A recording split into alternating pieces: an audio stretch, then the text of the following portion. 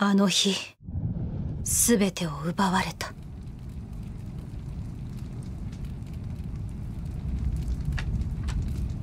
まだ死ねない。復讐を遂げるまでは。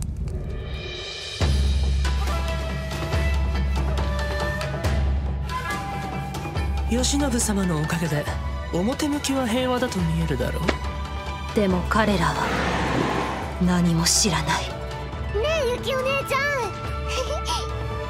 女王とは時に残酷だ。僕も情に振り回されているからわかるんだよ。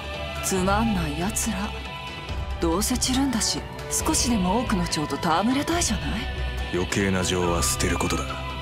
俺はお前の力を利用しヌエを強化する。お前は俺を利用し復讐を果たせ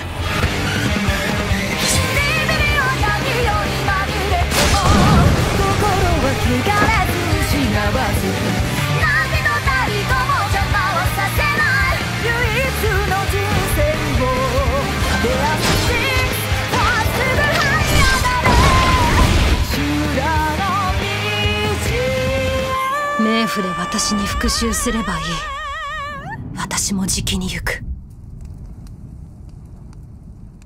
Subscribe, share and follow us on Facebook.